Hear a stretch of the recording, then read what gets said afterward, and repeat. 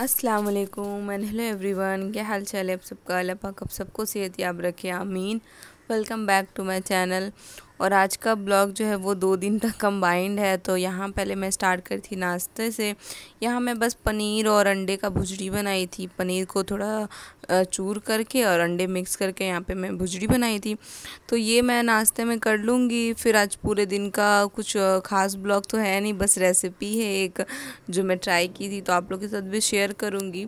तो यहाँ पहले मैं नाश्ता कर लेती हूँ। फिर नाश्ता करके ना मुझे बहुत ज़ोर की ना प्यास लगी हुई थी मतलब मन कर रहा था कुछ ठंडा ठंडा सा पीऊँ। तो यहाँ ना मेरे घर में पड़े हुए थे दही तो मैं सोची चलो लस्सी बना लेती हूँ तो बस मैं यहाँ पर फिर लस्सी पी ली। लस्सी बना ली थी घर में ही।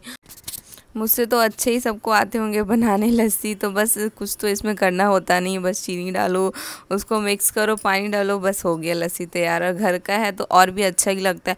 बाहर वाला भी मुझे बहुत पसंद है बट घर में है तो अपने मर्ज़ी से जितना टेस्टी बनाना हो बना सकते हो। तो बस यहाँ मैं बना ली थी, अपनी बहन के लिए बनाई थी और अपने लिए बना ली थी। तो यहाँ बस लस्सी उसी पी के थोड़ा सा फारिक हो गई थी। फिर मैं यहाँ लंच की तैयारी करने लगी थी तो लंच में ना मैं बनाई थी कीमा। बहुत दिन बाद मेरे घर में कीमा बना है, ऐसे जल्दी बनता नहीं है ये सब। बहुत दिन बाद हो गए थे तो मैं सोची थी, आज चलो कीमा बना लेती हूँ, काफ़ी दिन हो गए थे। तो यहाँ पहले मैं ऑयल ले ली थी, उसमें अनियन डाली, अच्छे से एकदम बारीक सा आपको डालना है। बिल्कुल दरदरा सा नहीं डालना है तो मैं एकदम बारीक सा डाल दी थी। और उसको अच्छे से थोड़ी देर के लिए लाइट ब्राउन करना है, बहुत ज़्यादा अपने डार्क नहीं करना, वरना कीमे का कलर ख़राब हो जाएगा। तो मैं बस हल्का सा पिंक की थी उसको, उसके बाद कीमा डाल दी थी। कीमा आपने अच्छा लेना है, बिल्कुल। थोड़ा सा मेरा फैटी था, फैट वाला था तो अच्छा होता है, फ़ैट वाला में भी आपको ऑयल कम लगता है।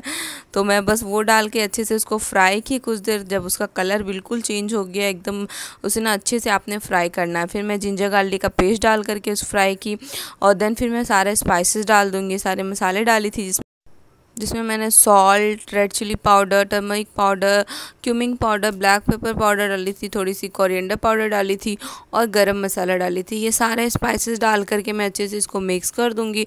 बहुत देर तक आपने ना इसे अच्छे से भूनना है। जब तक इसका अच्छे से खुशबू ना आने लगे, तेल ना छोड़ दे ऊपर से ना, तब तक आपने भूनना है।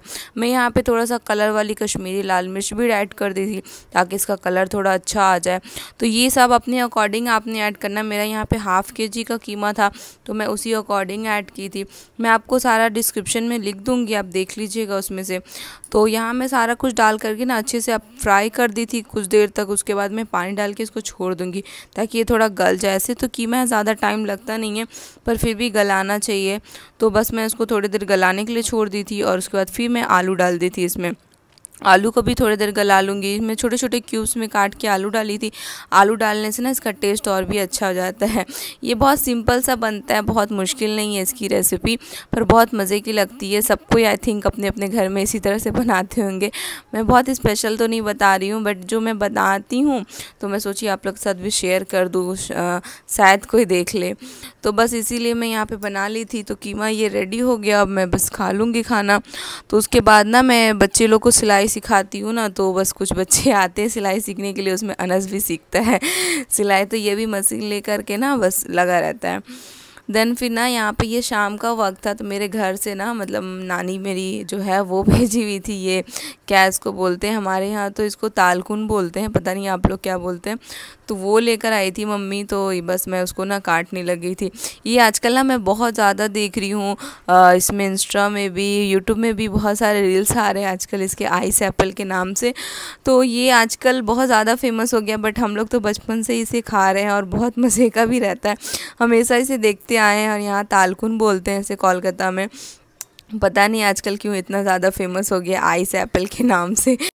लोग पहले भी इसे खाते थे और अभी भी खाते पर अभी कुछ ज़्यादा फ़ेमस हो गया। मैं हमेशा रील्स में देखती रहती हूँ इसका रेसिपी वगैरह मतलब शेक बनाना या कुछ भी मतलब एनीथिंग इसका देखती रहती हूँ। तो बस ये भी मैं सोची आप लोग साथ भी शेयर कर दूँ, दिखा दूँ। तो उसके बाद ना मैं यहाँ पे ना एक ट्राई कर रही थी एक्सपेरिमेंट जो कि फ़ेल हो गया, बिल्कुल फ्लॉप हो गया। तो मैं सोच रही थी कि आप लोग साथ शेयर करूँ, ना करूँ। फिर सोची कि चलो कर देती हूँ, अगर जिन्हें बनाना हो तो वो ट्राई ना करे इसे। तो बस मैं यहाँ ना पहले मैं मिल्क ली थी, उसको हाफ़ लीटर के करीब मैं यहाँ पे दूध ली थी। उसमें ना चीनी डाल दी अपने अकॉर्डिंग आपको जितना मीठा पसंद है। उस पर ना यहाँ पे मैं मैंगो का ना पल्प निकाल ली थी पूरा। मैंगो को निकाल अच्छे से उसको पील करके उसको ग्राइंड कर ली थी, उसका जो पल्प था। और वो सारा मैं इसमें मिल्क में ही ऐड कर दूँगी और उसको अच्छे से विक्स कर दूँगी। ये देखिए, अभी गांठ जैसा दिख रहा है गुटली गुटली जैसा, फिर वो मिक्स होने के बाद ठीक हो जाता है। ये देखे बिल्कुल ठीक हो गया। बना तो था बहुत ही अच्छा मैं ऐसे नहीं बोलूँगी ख़राब हो गया था, पर जो मैं बनाना चाह रही थी तो वो नहीं बन पाया मुझसे। मैं आइसक्रीम सोची थी, इसका बनाऊँगी। मैंगो आइसक्रीम सोची थी मैं बनाने का तो बट वो नहीं बन पाया। पर हाँ टेस्ट अच्छा था।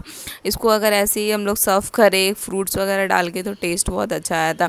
तो उसके बाद ना, मैं पल्प डालने के बाद मैं सोची थोड़ा सा ना मैं इसमें कस्टर्ड का फ्लेवर दे दूँगी। तो कस्टर्ड पाउडर थोड़ा सा मिक्स करके डाल दी थी और ना एक फ़्रेश क्रीम डाल दी थी मैं आधा कटोरी भर के। तो ये फ्रेश क्रीम डाल के अच्छे से मिक्स कर दूँगी।